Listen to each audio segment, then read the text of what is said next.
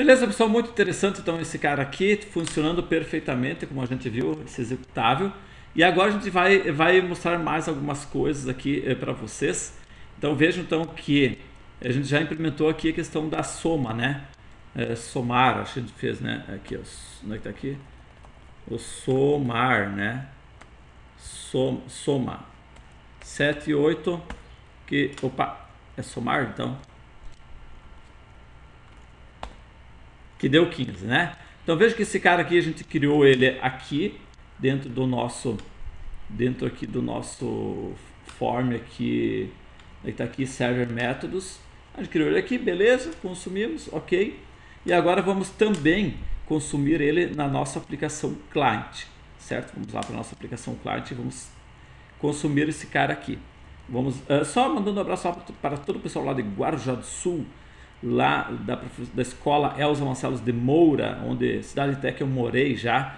E a professora Adriane Kaiber, que recebendo todas as idiolas, foi uma palestra muito interessante lá. Um abraço a todos de Guarujá do Sul, meu amigo Marcos, que mora lá. Então é o seguinte, pessoal, é, como é que a gente vai fazer aqui? No nosso Form Client. Vamos colocar aqui, ó. Vamos colocar aqui então mais dois campos aqui. Até eu dar um Ctrl C, Ctrl V aqui. Que vai ser o número 1, certo? E que vai ser também o número 2. Ok? Aqui então está aqui o número 1, Ctrl C, Ctrl V. E Ctrl C, Ctrl V, o número 2. Veja que eu não estou nem me preocupando muito aqui, pessoal, com questão de é, com questão aqui de, de, nomes ali dos campos, para a gente realmente não demorar, tá? Que a gente já está num ponto que vocês já estão mais tranquilos aí. Então vamos botar aqui um, um, um botão aqui. Tá, esse botão aqui é uma coisa. Eu já vou aproveitar que às vezes os alunos se, se atrapalham. Deixa eu dar um Ctrl C, Ctrl V aqui, ó esse cara aqui, botão 3, né? Então esse aqui vai ser então somar, certo? É, só que veja que ele está vinculado já a um evento, a gente apaga esse cara aqui e pronto, perdeu o vínculo. E a gente vai botar aqui, Ctrl C, Ctrl V, esse cara aqui, melhor esse aqui, Ctrl C, Ctrl V. Esse cara aqui vai ser meu edit 5, então 3, 4, 5. Esse cara aqui vai receber essa soma, tá ok? Vamos lá. Muito simples, pessoal. Pelo amor de Deus, como é fácil isso aqui. Vamos botar aqui a soma.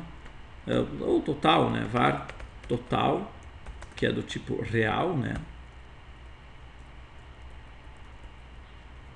E aí vamos fazer então com que... É, até antes disso, vamos botar aqui o tipo doble mesmo, que doble.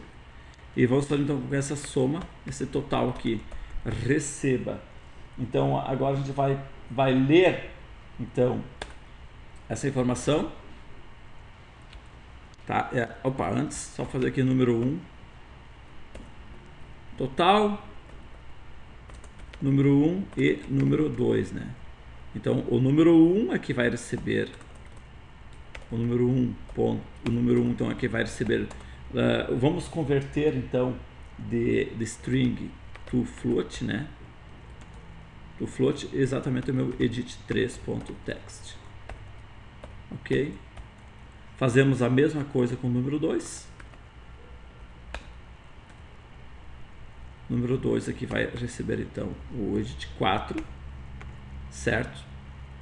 Aí esse total aqui, eh, como é que a gente vai pegar esse total aqui? A gente vai, vai também converter, só que agora de float to str, Aí o que, que a gente vai converter? Aí a gente vai fazer, a gente vai lá no client data modular, client, client eh, modular, client modular 1, pegamos os métodos, certo? E vamos pegar aqui o somar, certo? Passando então o número 1 e o número 2. Beleza.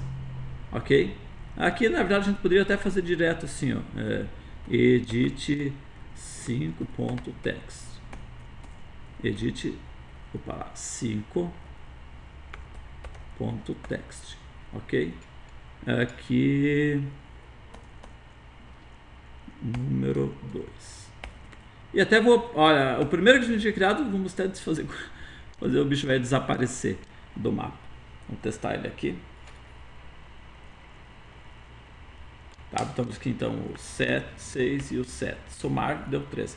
Pessoal, lembrando que isso aqui, isso aqui, pessoal, ele está consumindo de, de um aplicativo de um servidor RESTful, certo? Lá do REST. Isso aqui não é um DataSnap comum que a gente sempre vinha, não, é do REST, certo? Olha aqui, ó. É disso aqui, ó. Ele está pegando lá do server método somar 78, está pegando exatamente esse cara aqui, ó. Vou botar 7 e 8 aqui né? 7, 7 o primeiro e 8 o segundo, certo? Ele retornando 15, que é a mesma coisa como se eu fosse chamar esse cara aqui. Então, pessoal, pense bem aqui. Vamos supor que você criou a aplicação e aí, e aí precisava fazer um determinado cálculo e você quer é, disponibilizar para os seus clientes, para outras empresas, para todo mundo que quiser. Tu vai passar esse link aqui, vai passar esse link aqui certa pessoa vai ter acesso a, ao servidor, ao context aqui, a minha classe, ao método, e ele passa os parâmetros e ele obtém o resultado, certo? Então qualquer coisa que ele fosse passar, quero saber a temperatura da cidade e tal, aí tem um servidor que controla isso, então tu passa os dados, vai retornar a temperatura da cidade e tal, tu pega a temperatura e joga dentro da aplicação, tá certo? Então é muito interessante mesmo isso aqui. Tá certo, pessoal? Vejam que aqui ó, não tem nada de freak frock que a gente teve que fazer lá no projeto anterior do JSON, onde teve que colocar um HTTP service, depois um, um ID HTTP, certo? Para a gente poder consumir. Não, veja que aqui é tudo nativamente, porque o, a, ele já é feito para isso. Tá certo? Então você está criando uma aplicação aqui, lendo agora de dados um servidor aqui HTML. Estão vendo que isso aqui está é, tá lá no HTML. Certo? Se você parar esse servidor aqui, certo? Dei um stop lá no meu servidor HTML, você tentar consumir alguma coisa aqui, já vai ó, já deu problema na, na Kombi aqui, tá? Vamos startar ele, agora consigo somar. Opa! Deixa eu, deixa eu abrir o browser aqui, tá ok? Ah, tá ok. Agora vamos botar aqui qualquer coisa aqui. Tá um neri aqui. Tá, deixa eu... A sessão expirou. Ok, porque a sessão expirou. Vou ter que executar essa aplicação de novo porque ele perdeu ali a... Agora ele vai ajudar. Tem a parte do SESC como se fosse um, um aplicativo web, né, pessoal? Mesma coisa. Somar 3 está funcionando perfeitamente. Então, como ele... Olha só, raciocine aqui comigo. Nós tínhamos um servidor, temos um servidor, ele é a web, certo? Aí daí a pouco ele perdeu esse servidor, então você não tem mais acesso a ele. Então ele o que, que acontece? Ele finaliza a sessão.